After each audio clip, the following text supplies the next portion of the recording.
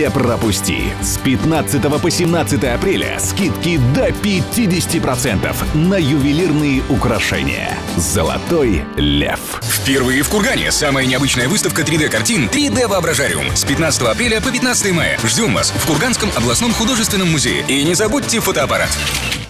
Здравствуйте! С прогнозом погоды вас знакомит Максим Пивоваров. Главное событие этой весны – грандиозные скидки до 50% на ювелирные украшения с 15 по 17 апреля. Золотой лев, улица Куйбышева, 70.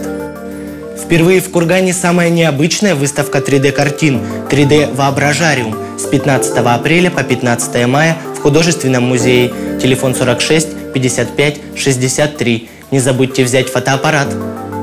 А теперь о прогнозе синоптиков.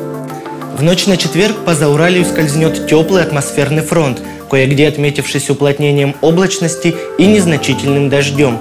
Днем инициатива перейдет к антициклону, благодаря чему жителей региона ждет погожий и теплый денек с температурным режимом на 4-5 градусов выше своей климатической нормы.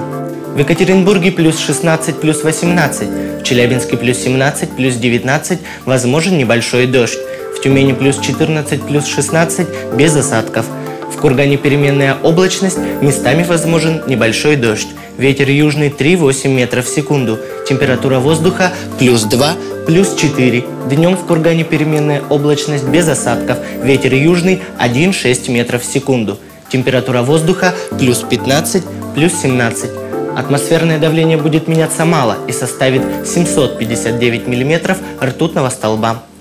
14 апреля солнечная активность умеренная, геомагнитное поле неустойчивое, возможны слабые магнитные бури. На этом я прощаюсь с вами. Всего доброго!